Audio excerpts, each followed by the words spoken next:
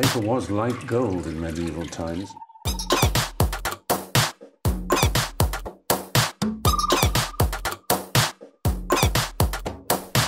Oh, not tobacco, sugar. That everything we thought we knew about the world might turn out to be completely wrong.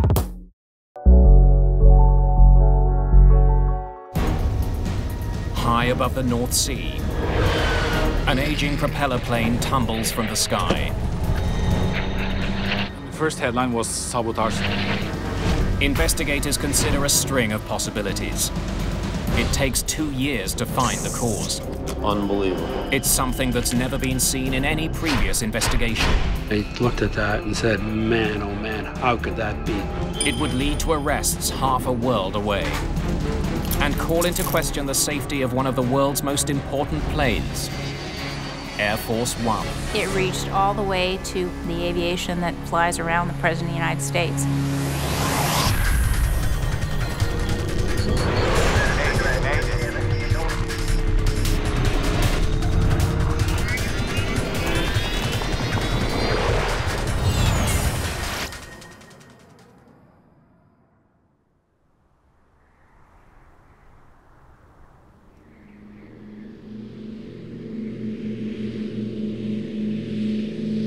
Four thirty p.m., September the eighth, nineteen eighty-nine.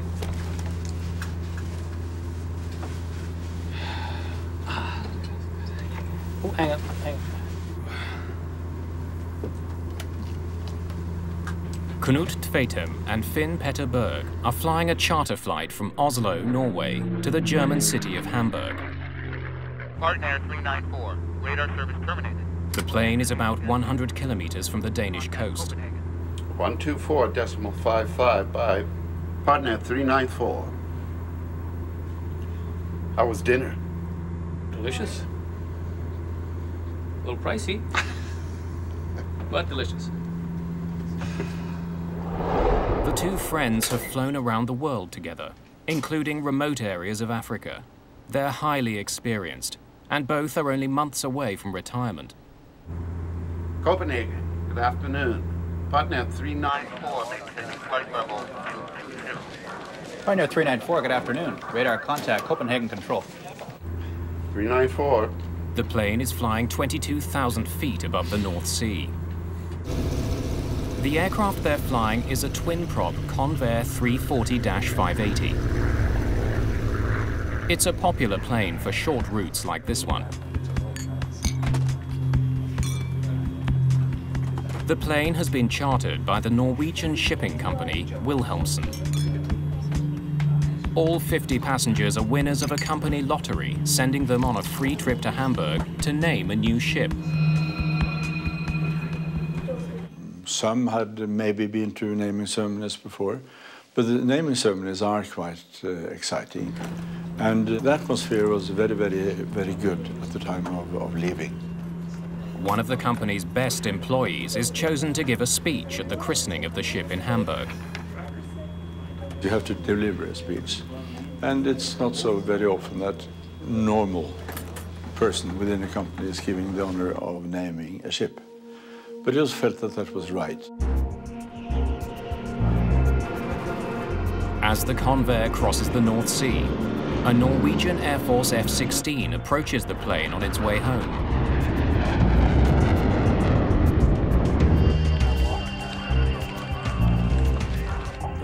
Look at that. 11 o'clock. F-16.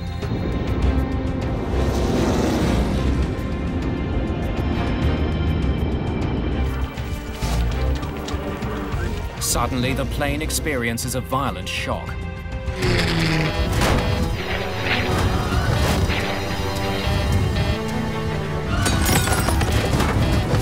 The crew is caught by surprise.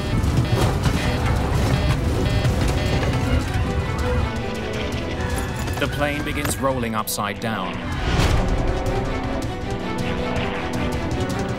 Air traffic control notices that Partnair 394 is off course and falling from the sky.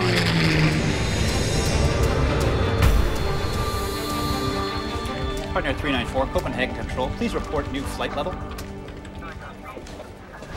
The crew is struggling to save the plane and the lives of everyone on board.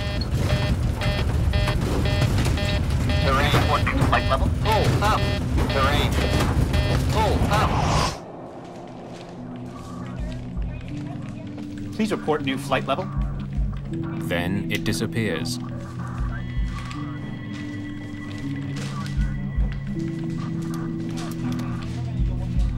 It seems as though the charter flight has crashed into the sea. Partnair uh, 394 en route to Hamburg is off radar.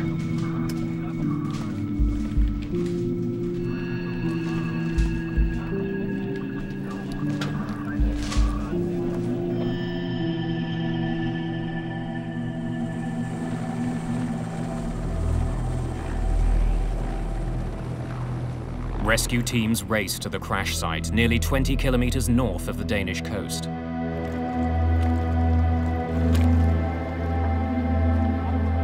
They find only wreckage and bodies. All 55 people who were on the flight are dead. I knew all the people. And some were close friends, uh, some were less close, but I knew them all. And um, uh, the pressure then felt double. The shipping company is devastated by the news. Half the staff from its head office has been killed.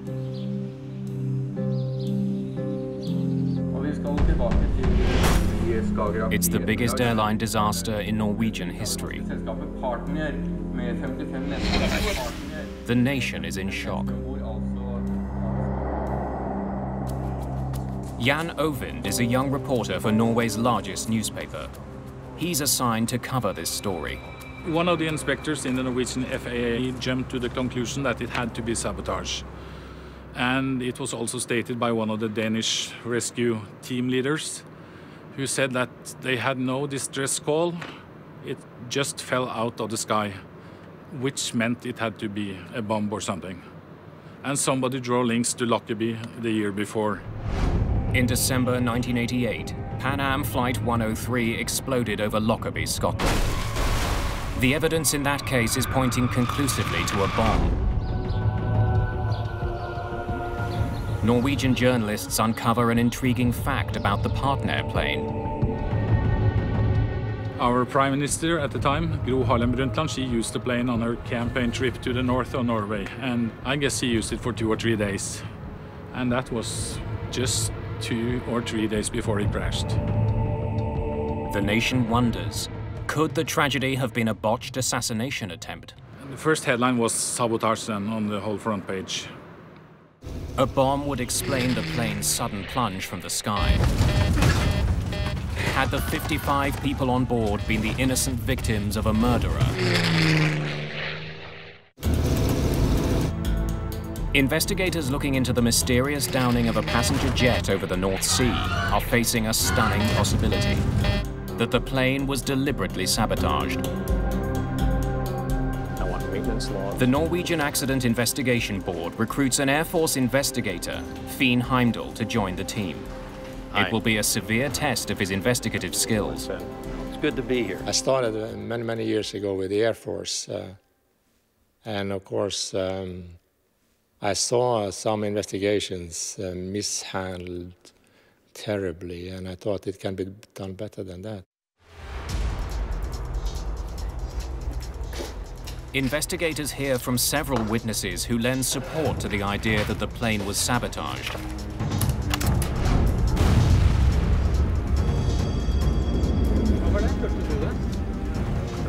A young man claims to have heard a cannon-like sound coming from the crash site off the Danish coast.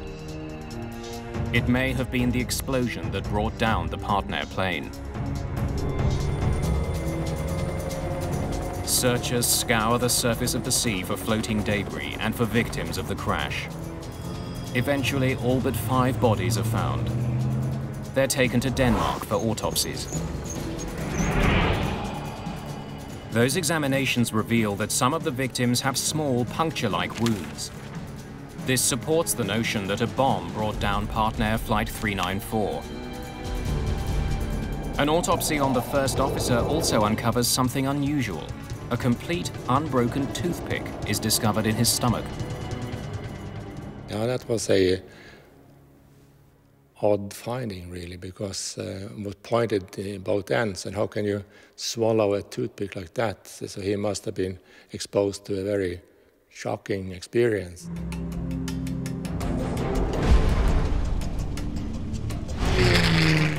Please report new flight level.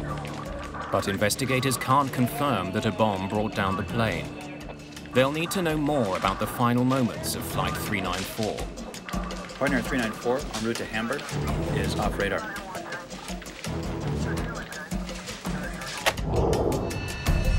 Nine separate radar stations tracked its final seconds. They could provide valuable clues. The most intriguing readings come from a military radar station in Sweden. Operators there tracked the Partnair flight as it crossed the North Sea.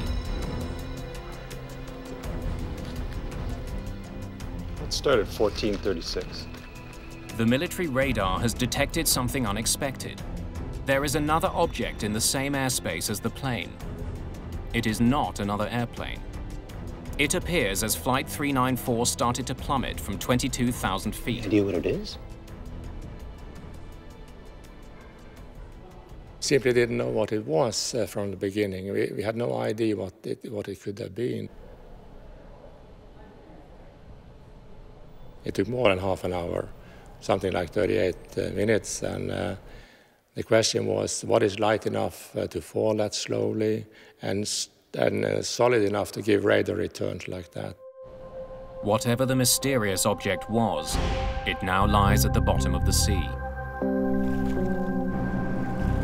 A month after the crash, investigators are busy recovering sunken wreckage.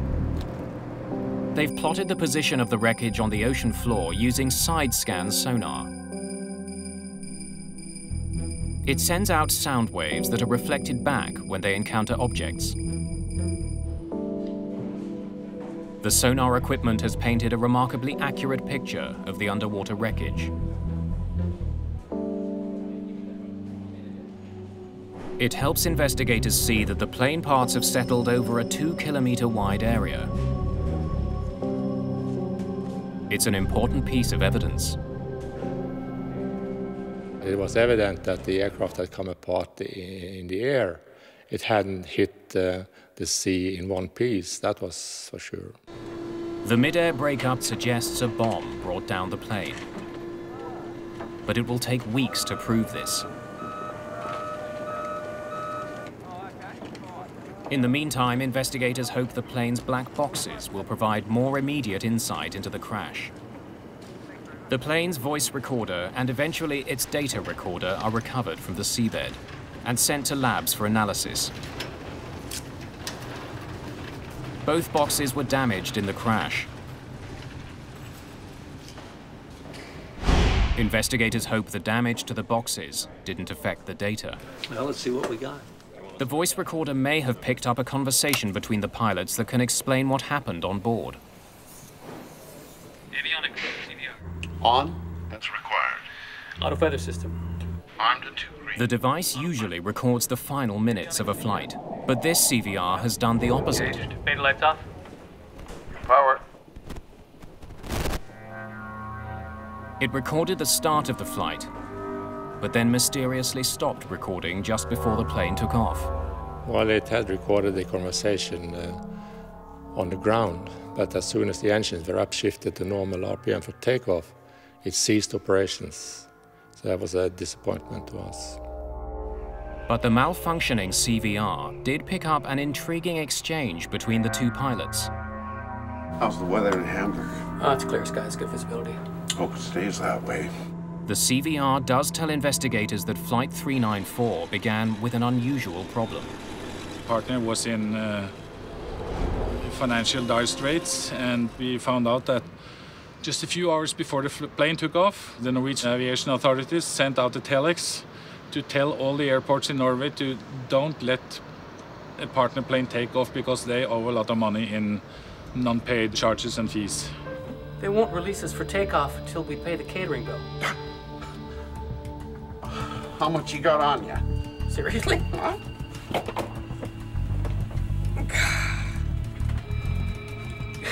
Probably enough, actually.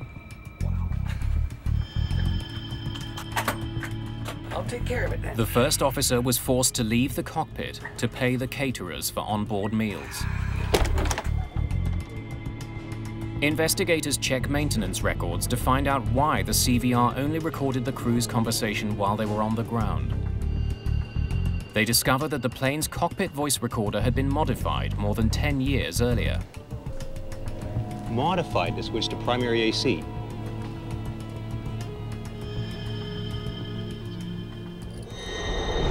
lights up. It was altered so that when the engines were given full power for takeoff, Your power. the CVR would automatically switch from the plane's batteries to its generator. And that uh, modification uh, was uh, not working on this aircraft. Neither pilot realized that as the engines were revved up for takeoff, power to the CVR was actually cut off. Anytime you get key investigation components such as the cockpit voice recorder and flight data recorder that don't work correctly, it brings into question um, the uh, thoroughness of the maintenance and, and also the, um, the continued operation, safe operation of the airplanes. The malfunctioning voice recorder and the unpaid catering bill lead investigators to look more closely at the history of the airplane and the company that owned it, Partnair Airlines.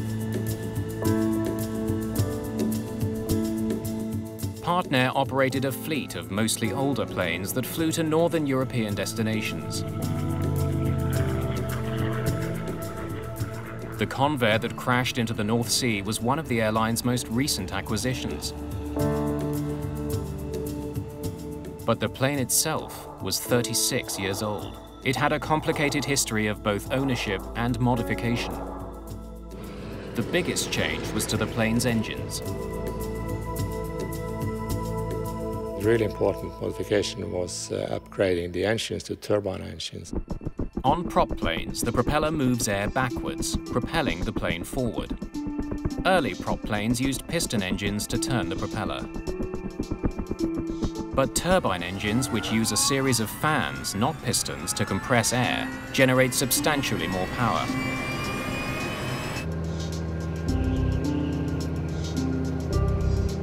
Heimdal learns that in 1960, the plane's original piston engines were removed and powerful new turboprops were bolted to the wings. It's a modification that provides more power, but could pose a risk. There was a tremendous increase of horsepower installing the turbine engines, I was wondering what that uh, was doing to the structure of the aircraft. Heimdal has been placed in charge of analyzing the plane's engines. He wants to know if the turbine engines could have torn the aging plane apart. I started asking the question, how can an aircraft fly itself to pieces in midair? The plane's flight data recorder should tell investigators about the operation of the engines in the moment before the crash. The recorder from this flight is a primitive analog model. Used a metal foil strip that rotated and some marking pins uh, actually scratched on the on the metal surface on the piece of metal. The antiquated data recorder proves to be another frustration for investigators. It didn't record many of the parameters it was supposed to. But more mysteriously, the needle seems to have recorded certain signals twice. The double line confounds experts who analyze the device. We had no experience with anything like that. We contacted several experts, but none had experience uh, with this uh, before. Yeah, I've never seen that before. The flight data doesn't offer investigators any immediate revelations about the crash. Heimdal now wonders if the very fact that the recorder was malfunctioning could be a clue in itself.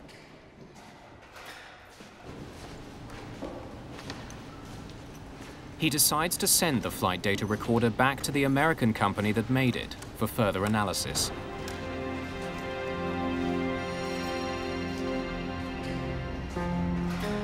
Investigators painstakingly reconstruct the Partnair plane. Uh, the, the, Norwegian team re recovered the, the, airplane with assistance from um, the, the, local authorities, uh, the Danish authorities, I believe, and uh, decided to reconstruct the airplane. A reconstruction is like putting together a, a, puzzle that helps investigators focus the investigation on areas that need uh, to be looked at and helps prioritize the investigation. As the fuselage takes shape, the reconstructed plane provides investigators with some stunning evidence.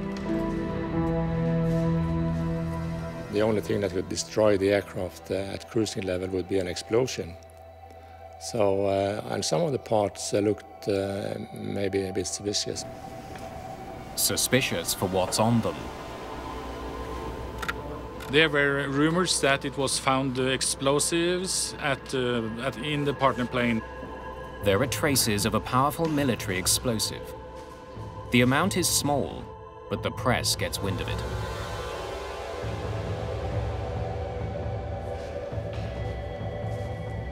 The explosive residue could be from a bomb on board the plane, or from another source.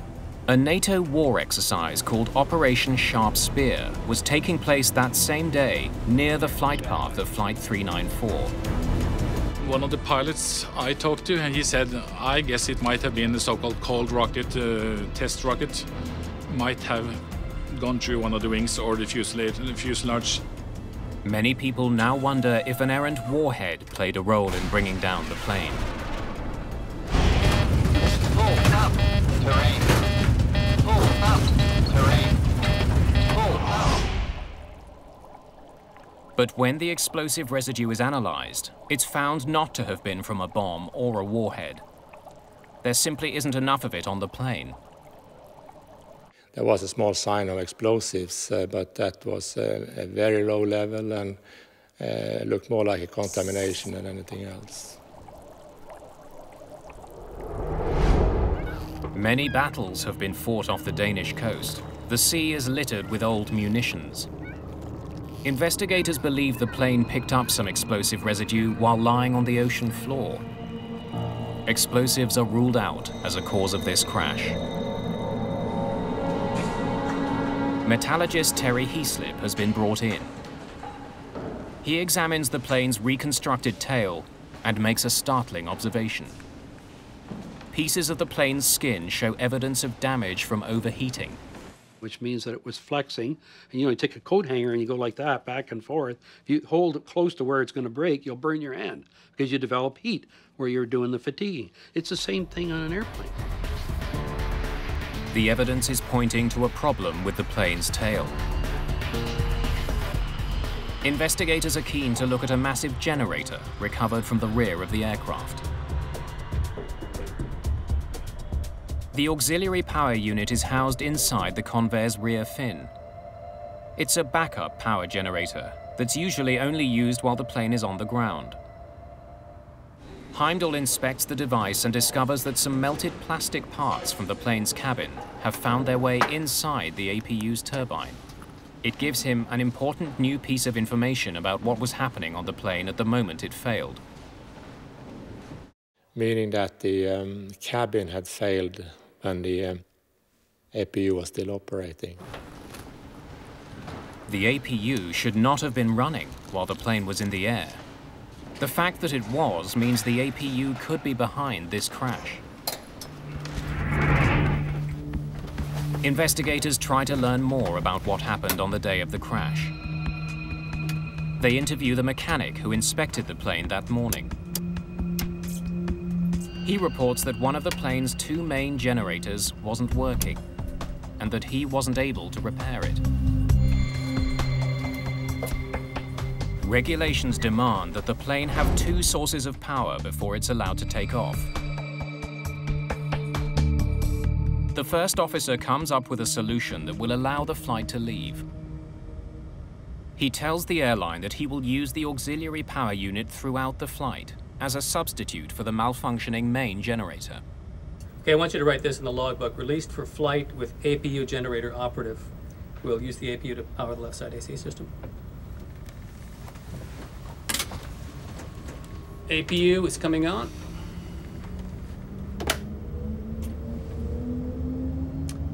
Beta lights off.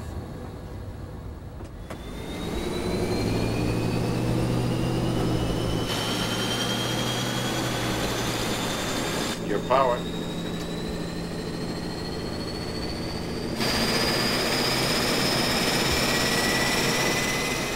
During his inspection of the APU, Heimdal makes an important discovery. When I saw the part, uh, I saw that it was not an aircraft standard part at all. It was made uh, in a very primitive way by uh, a piece of iron and welding it together in a substandard way. He notices that one of the mounts attaching the APU to the plane is broken. The unit contains a rapidly spinning turbine that generates electricity. If it wasn't properly held in place, it could have caused this crash.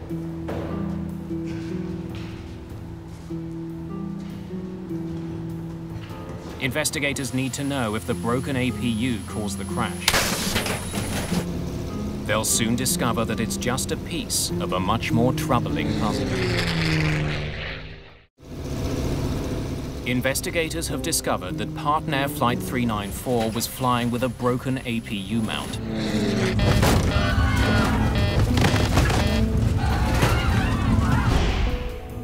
Metallurgist Terry Heaslip performs extensive testing on the failed part.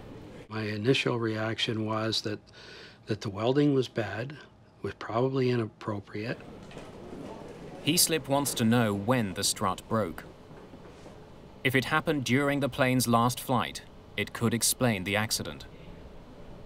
I could see the impact markings and the progression markings on it that showed that it did not fail in a single overload during this last accident flight. The way the broken mount is worn down also tells Heaslip that the mount holding the APU in place didn't break on the day of the accident. It was broken long before Flight 394 took off. Investigators now need to know what effect the broken mount had on the flight. 40,000 RPMs. Do a lot of damage. The APU is a large gyroscope uh, uh, having a tremendous amount of energy in it when it's rotating.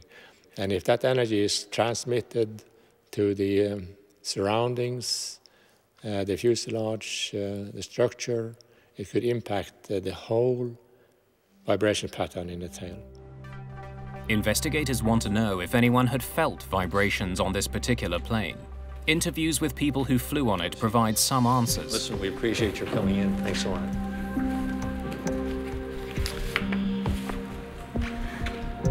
Now, you said you felt some rumbling on the plane, is that right?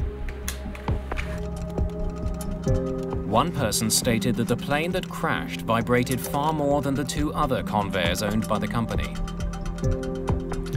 Did anything uh, seem unusual on the plane? But others failed to mention the vibrations. Had a good flight. It's a puzzling situation. Investigators know the APU mount was broken before the flight. But they still don't know if it even played a role in the crash, or whether it would have affected the plane's tail. Then the reconstruction begins to clear things up.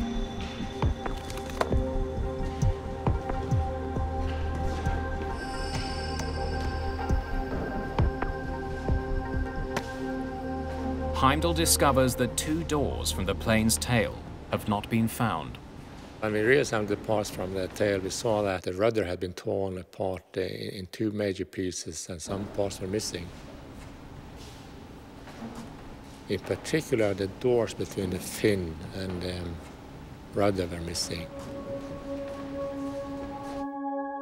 The shroud doors are two small doors located on the vertical fin of the plane.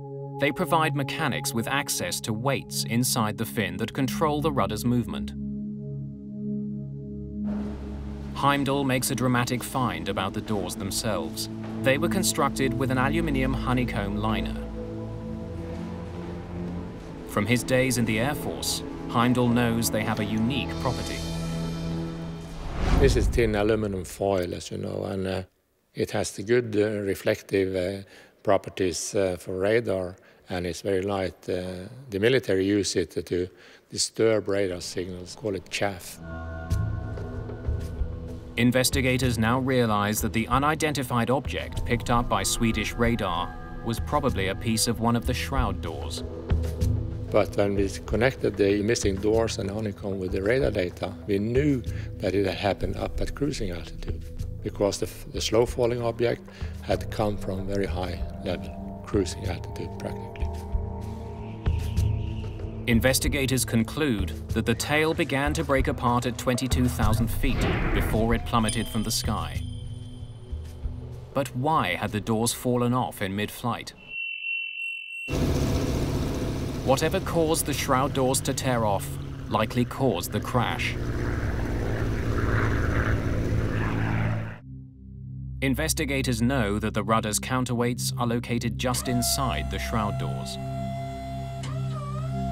If a rudder moves too violently from side to side, the weights do as well. We found enough pieces to show that, that it was just pounding these, these doors.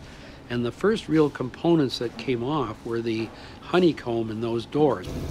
Investigators conclude that around the time of the accident, something caused the rudder to swing violently back and forth, but they still don't know what.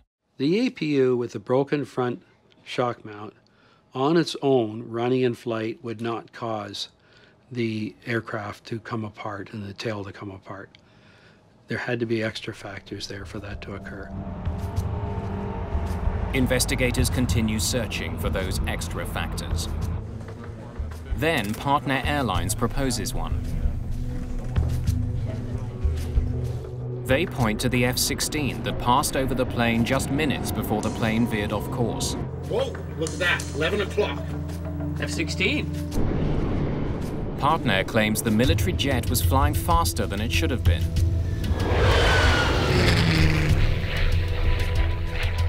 They also believe that it came much closer to the flight than officially reported. Partnair, they contacted the Swedish investigator, and he came out with the answer that the F-16 could probably have uh, gone through the sound barrier as it passed just over the Partnair plane. When a fighter jet or any other plane breaks the sound barrier, you have this pressure wave, and their theory was that this pressure wave just got the plane to disintegrate in the air. But the Norwegian F-16 pilot testifies that he was more than a thousand feet above the Convair when he passed it. Investigators calculate just how close the F-16 would have had to be in order to seriously disturb Flight 394. They determined that for the F-16's pressure wave to have affected the Convair, it would have had to fly within a few meters of the plane.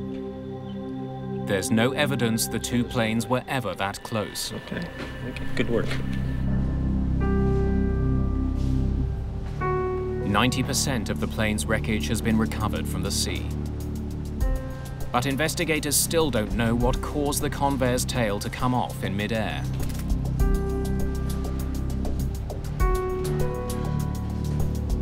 During the course of the investigation, Finn Heimdal is given a promotion.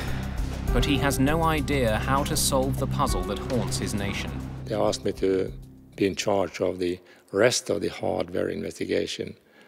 I was standing in a heap of uh, wrecked parts and thinking I'll never get to an end of this.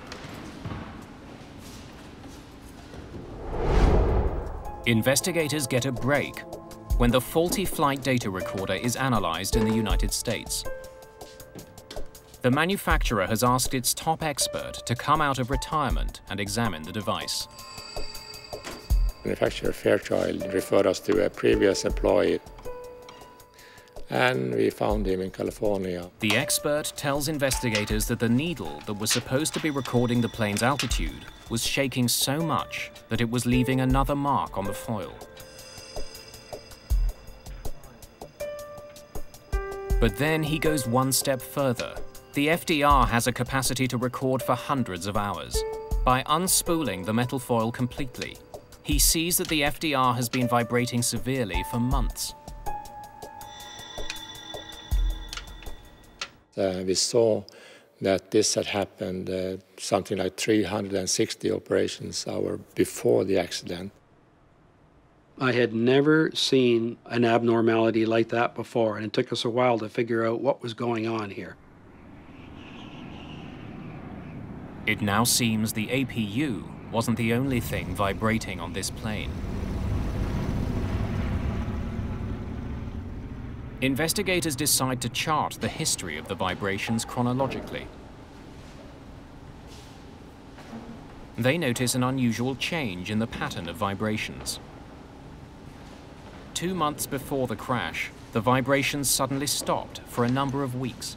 Virtually no vibrations for at least 16 flights.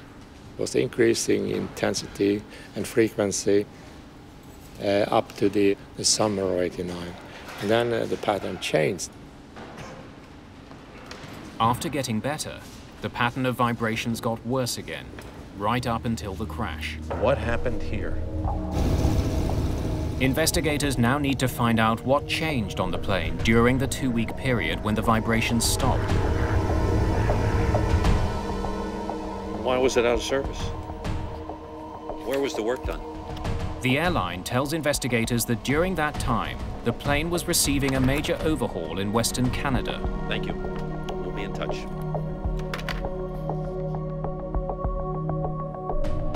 The work was done by the plane's previous owner, a Canadian company that specializes in servicing Convair. During the various test flights there, the FDR recorded almost no excessive vibrations. This healthy pattern continued on several passenger flights once the overhaul was done and the plane returned to Norway. Investigators review the maintenance records.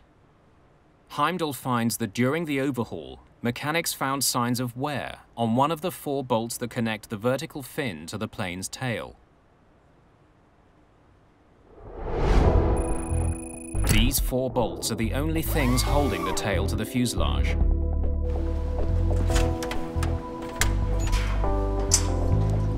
During the overhaul of the Convair in July of 1989, a mechanic replaced one of the four bolts.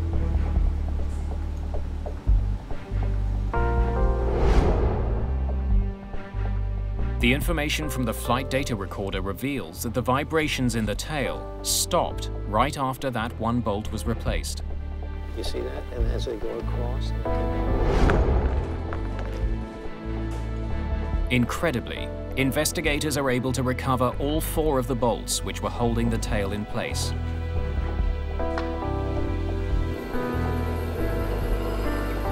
Terry Heaslip thoroughly analyzes the bolts. He makes a final stunning discovery. The three bolts that weren't replaced were not approved parts.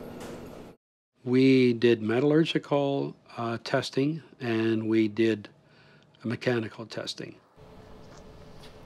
And by doing all of these analyses, we worked out that the three of the assemblies were not up to scratch. They were, they were bogus assemblies.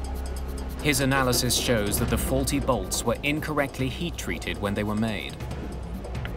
As a result, they are only 60% as strong as they should have been. Investigators finally know why the tail was vibrating for months. Got something for me? Mm-hmm. Three of the bolts holding it in place were too weak. They just weren't hard enough. Unbelievable. Three bolts holding the tail to the rest of the plane were not authentic parts. They were well-disguised fakes.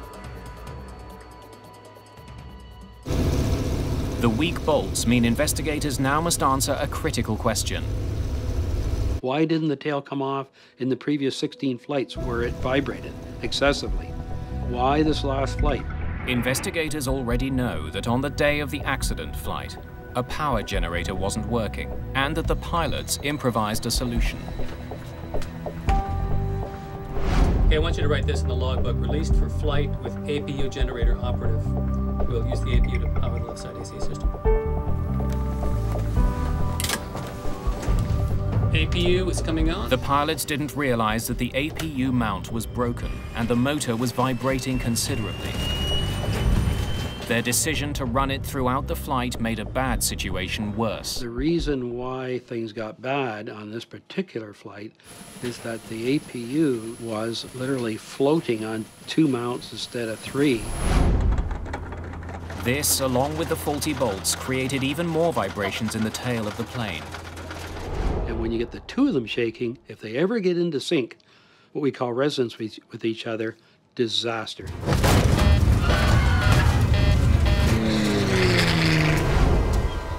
The investigators conclude that the vibrations in the tail and the vibrations from the APU could have combined into a lethal force.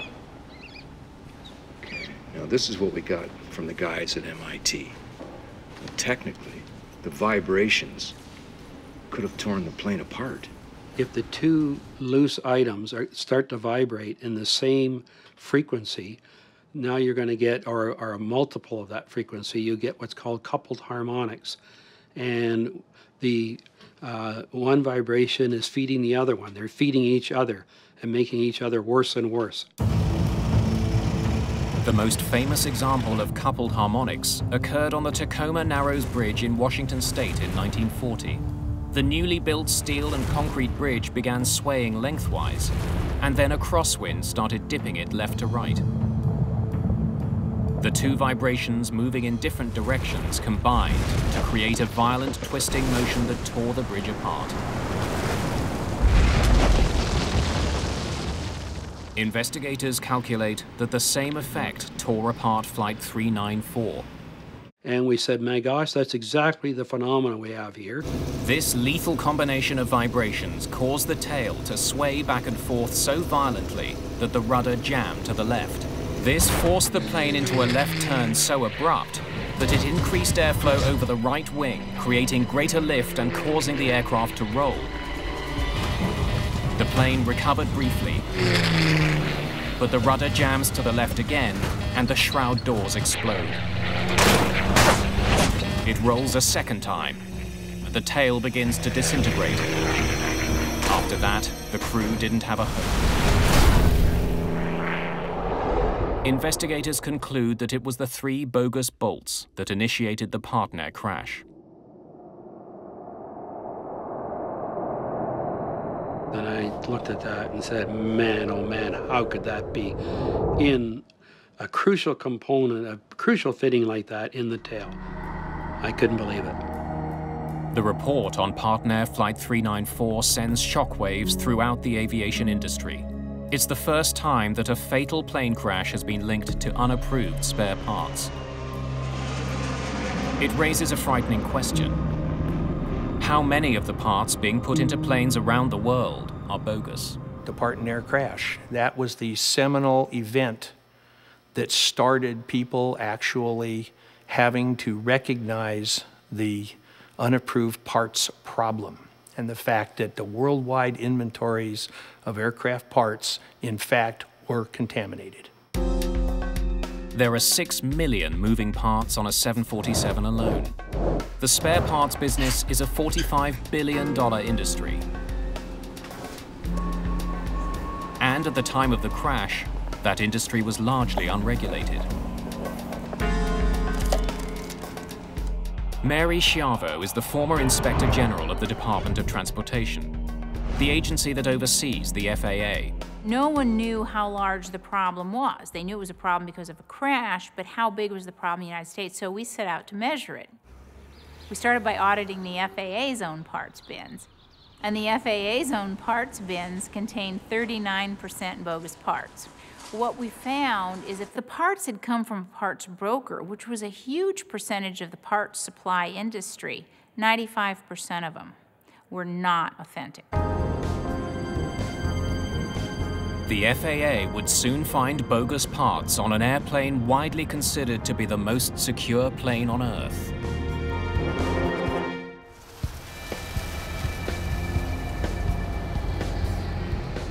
There are 5,000 parts brokers in the United States, many of them in the Miami area.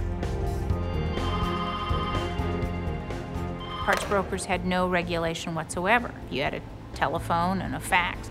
You were a parts broker. Overnight, you could be in the parts brokerage business, and you could get them anywhere you chose. You could get them from junkyards, you could get them from scrap facilities, you could get them from old planes, you could get them from crashes, you could get them from people who are willing to manufacture and don't care about the law. Spare parts for airplanes are expensive. A single bolt, like the one holding on the Partnair flight's vertical fin, can cost up to $250. A bogus one can cost as little as 30 which makes it a bargain. And when you have situations like you have today and airlines are bottom line driven and you've got eight or 10 major airlines in the United States, for example, that are on the verge of bankruptcy, they're looking to cut costs. The FAA launches a major investigation into illegal parts and uses sting operations to uncover unscrupulous dealers.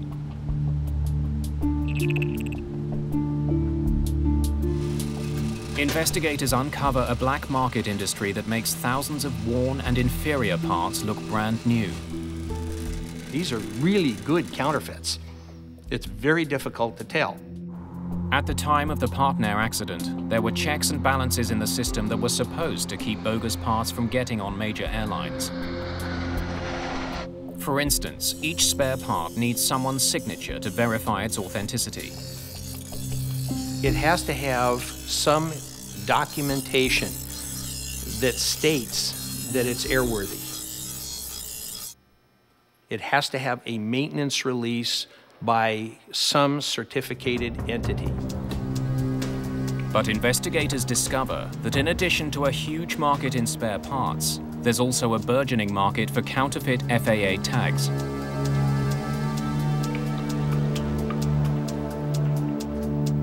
We'd execute search warrants and find that people had printed stacks of fake yellow tags, and in many cases they'd sign with the name of an actual inspector, but they just forged a signature.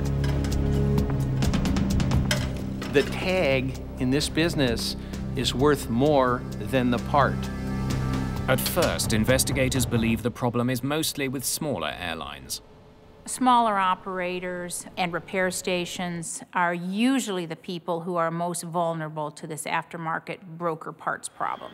They're shocked when they discover that bogus parts have been found on what is supposed to be the most tightly controlled plane in the world, Air Force One. It reached all the way to what many people consider literally the highest levels of aviation, the aviation that flies around the President of the United States supposedly in an airtight supply chain. We had bogus parts cases that touched those aircraft.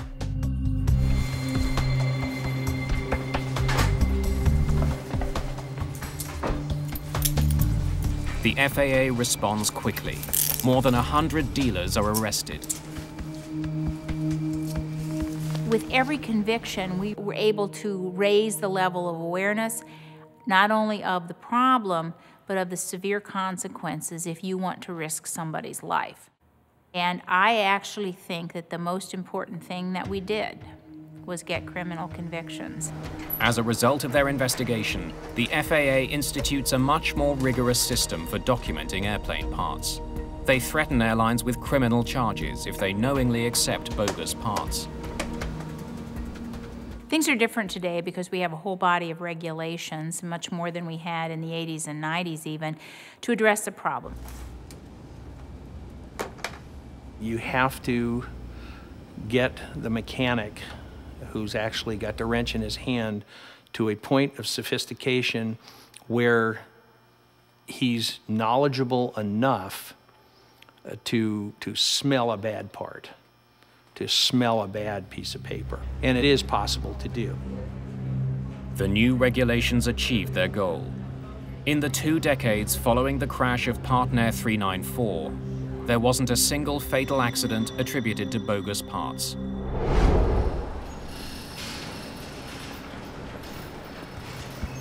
Years after the Partnair crash, Finn Heimdal became the head of the Norwegian Accident Investigation Board. Was a major puzzle that an aircraft, for no obvious reason, could more or less disintegrate in midair. His report into the accident resulted in major changes that likely saved lives. That's the positive thing, but the, the negative, of course, is the tragedy, the personal tragedy to many people.